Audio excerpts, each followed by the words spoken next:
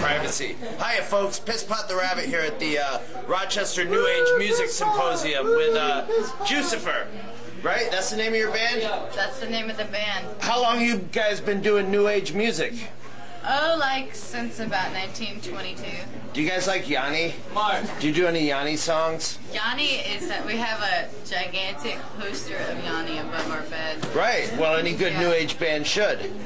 Now, uh, what should we expect from? We're gonna pretend this is before the concert, so uh, you know all the magic of uh, TV editing. So, what should we expect from your? Uh, yes, many people like to can't touch keep the my rabbit's hands off it. ears. The ears are so long and luxurious. They, they they help amplify the quiet New Age music, so I can hear all the the subtle tonalities and, and such. That's Oh, important. pardon, am I blocking progress here? Amber. Amber, Mark. I'm a musician myself. What am I, chopped liver? I don't know.